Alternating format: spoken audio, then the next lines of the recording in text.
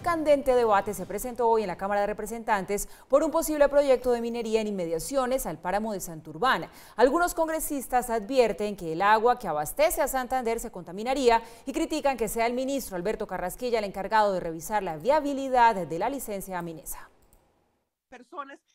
El debate inició con la explicación del proyecto que contemplaría la construcción de una mina subterránea de 380 hectáreas. Su operación sería por 25 años. Cuatro años de construcción y montaje y 21 años de operación. Luego vendrán 12 años de abandono y cierre. O sea que luego de que terminen y se lleven el oro, se vayan para su casa, nos van a dejar el problema. Utilizarán 35 mil toneladas de explosivos, óiganlo bien, 35 mil toneladas de explosivos.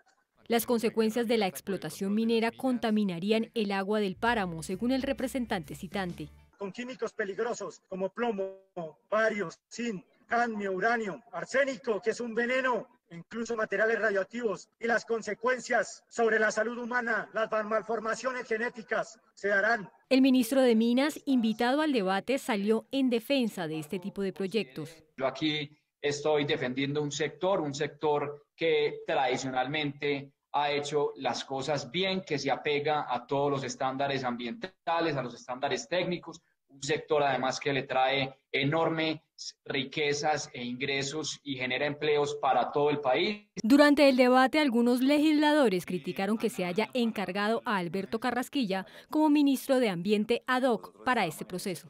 Y por Dios, ¿Qué, tan, ¿Qué tanto puede estar claro el concepto del ministro Carrasquilla en temas que tienen que ser científicos y que tienen que ser técnicos, en temas ambientales y no en temas de dinero, que es lo que él sabe manejar y lo que le gusta?